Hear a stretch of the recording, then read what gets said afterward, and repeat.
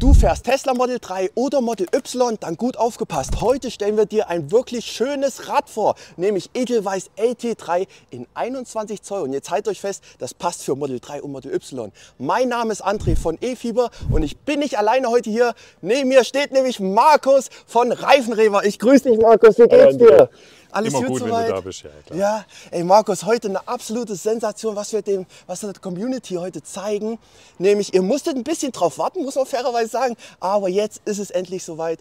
Die neue Felge von Edelweiss in 21 Zoll. Wir werden sie wirklich uns im Detail mal anschauen. Wir werden uns die Dimensionen anschauen und ich gebe euch natürlich auch Eindrücke, wie diese Felge vom Design her einfach wirkt. Ultra konkav und so weiter. Also, nach dem Intro geht's los.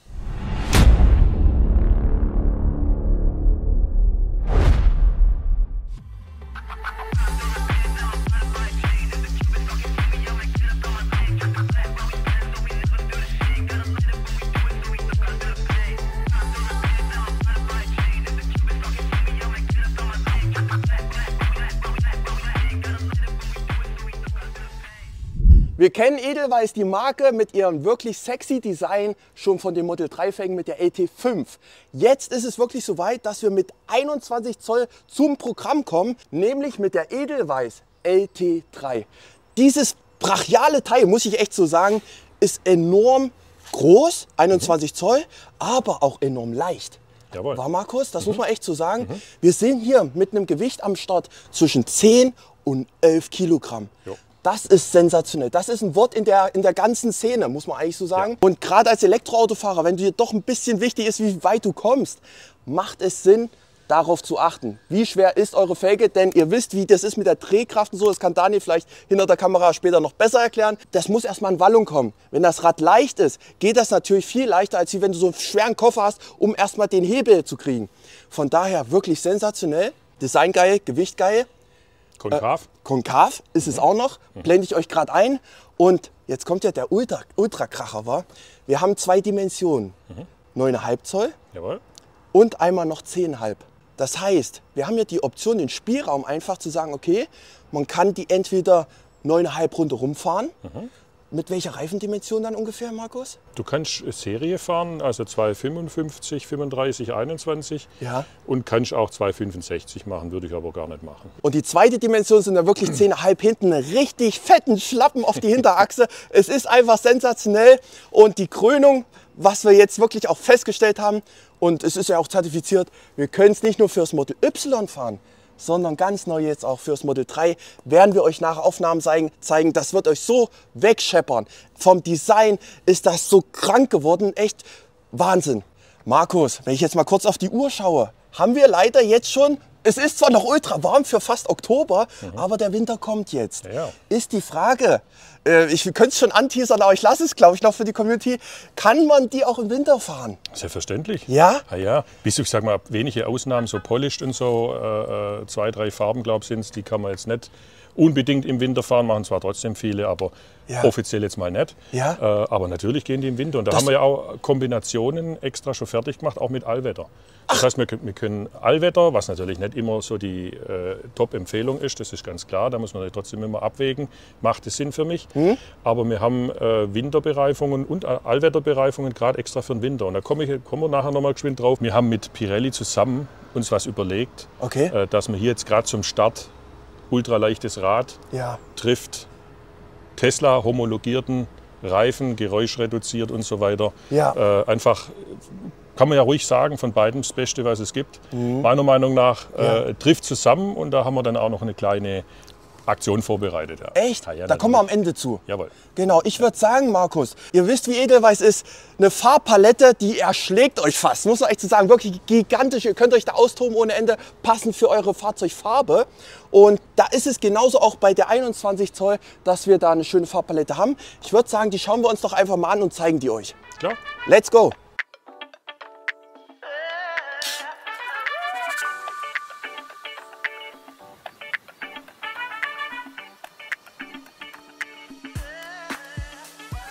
So Leute, wir sind jetzt ein Stockwerk tiefer gelangt und ihr seht schon, Wahnsinn. Wie groß ist das bitte? Hier haben wir noch mal schön zwei Hebelbühnen stehen und ähm, in den Karton da drüben, da haben wir im Prinzip die LT3 21 Zoll in die verschiedenen Farbkombis und wir schauen uns das jetzt einfach mal an. Leute, ich muss das korrigieren. Nicht da drüben steht der Edelweiß, sondern ich bin dran vorbeigelaufen. Daniel, Mensch, du sagst nichts. Und hier haben wir wirklich Bei die. Menschen ist einfach ja, Was willst du da nur sagen? Ja, ja, ja ist Hopfen und Malz verloren. Deswegen, wir machen die Kartons jetzt mal auf und schauen mal rein. So, wir haben euch jetzt mal die vier greifbarsten Farben direkt gezeigt, nur dass ihr erstmal eine Impression habt. Wir reden hier nämlich von insgesamt 15 Farben. Die können wir euch jetzt natürlich nicht zeigen, dann sind wir morgen noch hier am Drehen. Deswegen jetzt hier mal die vier von meinen Geschmack geilsten Farben. Markus, Jawohl. hier haben wir sie jetzt. Ich zeige den Leuten gerade mal, welche Farbe ist das denn hier? Frozen Bronze. Frozen Bronze. Bronze, geil. Sehr, sehr schön. Auch das Design. Jetzt seht ihr auch noch mal, wie konkav das bitte alles ist. Auch hier drüben. Ey, das ist jetzt Gunmetal, wa? Gunmetal, genau. Wow, wie schön sieht es einfach aus. Guckt euch das doch mal an. Und hier drüben, was ist hier? Bronze? Kopperbronze. Kopper, oh Mann. Genau. Markus, ey. Fehlt jetzt halt immer der Deckel, aber das ist jetzt mal egal. Das ist egal. Es geht grad, ja nur. Wir sind gerade vorhin gekommen, ja. Das genau, ist, äh, ganz frisch. Das, also was ihr hier frisch, seht, genau. das ist mehr als frisch. Das ist noch direkt vom Werk. Genau. Und hier schön glossy. Gloss Graphit. Gloss Graphit, ey, Genau. ist se- sensationell. Wirklich schönes Design. Hier sieht man sogar die Pigmente, so dieses Metalleffekt noch drin. Wow. Ja, die, die Felgen sind ja jetzt äh, gestern äh, gekommen. Ja. Das heißt, wir haben jetzt die schwarzen, ähm, wo wir jetzt vormontieren heute. Und die In- Individualfarben hier, ähm, die sind jetzt heute gekommen. Ja. Äh, Gerade vorhin hat sie der Erik gebracht. Ja. Und das sind jetzt einige von den Vorbestellungen, die müssen wir jetzt halt montieren. Ja. Und dann gehen die raus. Und äh, ja, da gibt es dann einige, wo, wo sich freuen, glaube ich. Ja. Auf jeden Fall, es gab ja wirklich unglaublich viele Vorbestellungen. Deswegen, ihr könnt euch da wirklich freuen auf ein sehr, sehr schönes Rad. Und was wirklich, das wusste ich wie gesagt vorher nicht, auch wintertauglich ist, sensationell. Das heißt, man kann die wirklich in jeder Saison fahren, wo ihr es möchtet. Das heißt, ich glaube, Daniel hat mal den Spruch damals gebracht, ich erinnere mich, ich weiß nicht mehr, welches Auto das von mir war, und da hat er gesagt, André, es heißt doch nicht nur, weil Winter ist, dass man mit hässlichen Felgen da draußen rumfahren muss. Nein, Deswegen, den, den, das hat sich in mein Gehirn eingebrannt. Er hat recht. Also es ist wirklich sensationell, muss man so sagen. Und äh, die Verfügbarkeit, wie sieht es da aus, Markus? ja, jetzt machen wir, wie gesagt, erstmal die Vorbesteller. Ja, Ähm, und dann, wir haben natürlich ein paar Satz äh, Reserve für uns mitbestellt. Heißt, die eine oder andere Farbe kriegt man sofort. ja. Und der Rest kommt jetzt halt peu à peu, ja. Markus, die Felgen haben echt ultra viel Qualitäten, also auch mit den Gewichten so. Schauen wir uns nachher nochmal im Detail an.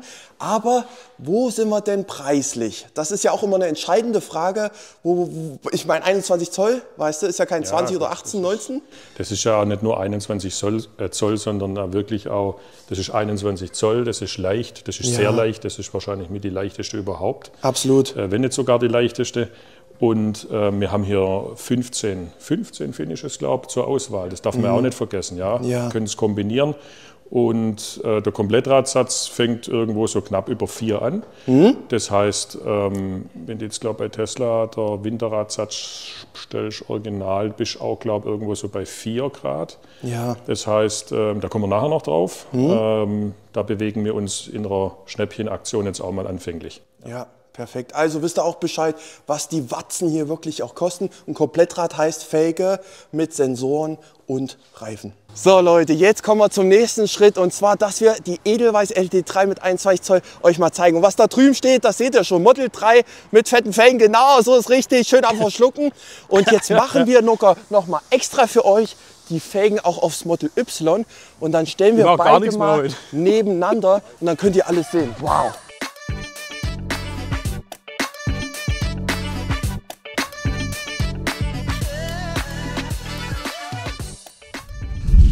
So Leute, wir haben jetzt wirklich für euch eine Premiere. Model 3 und Model Y, beide mit 21 Zoll Edelweiß auf dem Fahr Fahrzeug schon drauf. Wa? Ey, wir wollen es uns mal anschauen, Leute. Kommt, Markus, wir gucken mal. Und zwar mit was wollen wir anfangen? Mit dem Model 3 oder lieber mit dem Model Y? Gut, gemacht sind sie eigentlich fürs Y. Ne? Ja, eigentlich sind sie fürs Y. Wir haben ja ein Y extra mal für euch rausgesucht in Serienhöhe, dass ihr das auch einfach mal auf euch wirken lassen könnt. Die Felge sieht sexy aus, sehr konkav auch. Und ähm, ja, man müsste hier meines Erachtens noch ein bisschen tiefer legen. Natürlich. Ähm, damit das auch schön, äh, richtig schön rein versinkt, das Rad. Wenn ich jetzt hier mal oben schwenke, seht ihr, wie schön konkav das ist. Das Rad macht wirklich einen sehr tollen Eindruck, ist sehr leicht. Das merkt man auch schon alleine beim Lenken. Und ähm, wenn man sich das jetzt hier nochmal in Querschnitt so ein bisschen reinschaut, dass ihr auch wirklich die maximalen Impressionen habt, seht ihr auch, die sind extra dafür gemacht, dass sie bündig im Radkasten stehen. Das heißt, wir müssen jetzt hier nicht mehr mit Distanzscheiben arbeiten. Die stehen so, wie sie sind und sein müssen. Wie gesagt, Tieferlegung rein, dann sieht das Ganze noch mal deutlich sportlicher aus. Das ist jetzt die Serienhöhe und ähm, ja, sensationell. Ja, Daniel, was sagst du?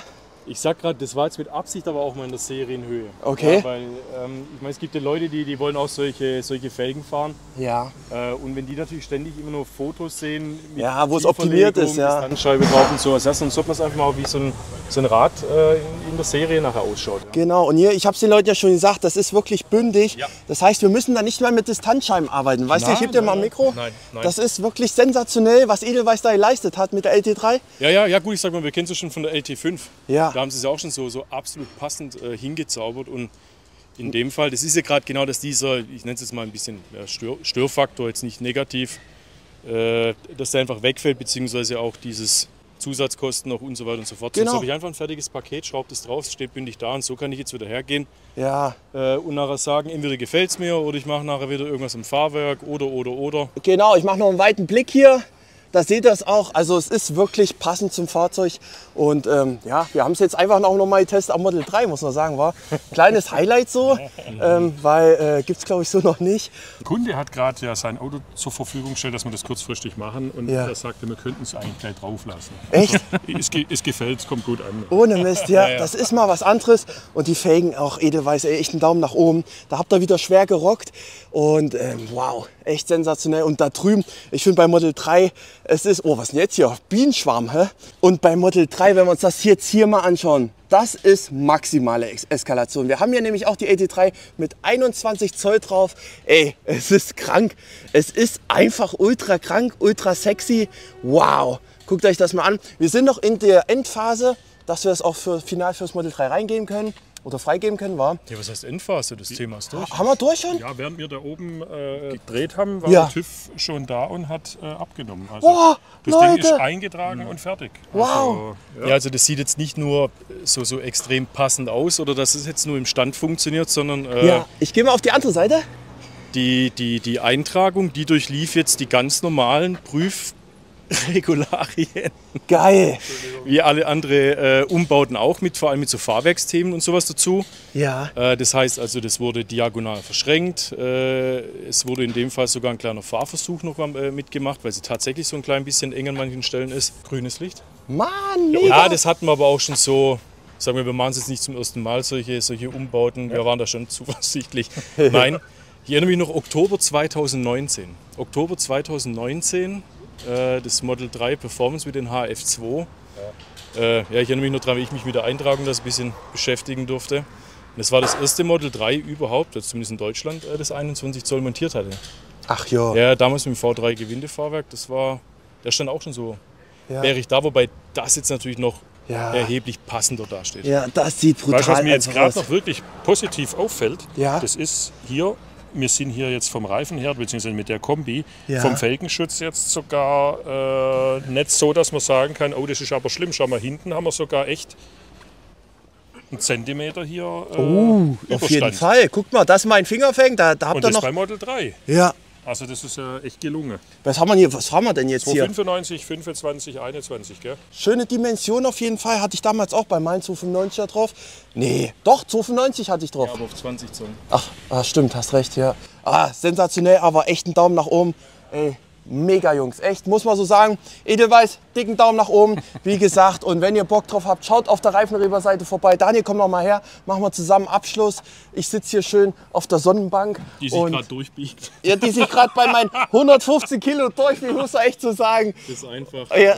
Ja, gut, ist schwierig. Ja, Das Ding geht immer kaputt. ja, deswegen. Kollateralschaden. Schaden haben wir immer, wenn ich filme, von daher. genau. Wir sehen uns, Leute. Halt die Ohren steif und denkt dran, auch für den Winter geeignet. Wir sehen uns. Macht's gut. Ciao. Tschüss.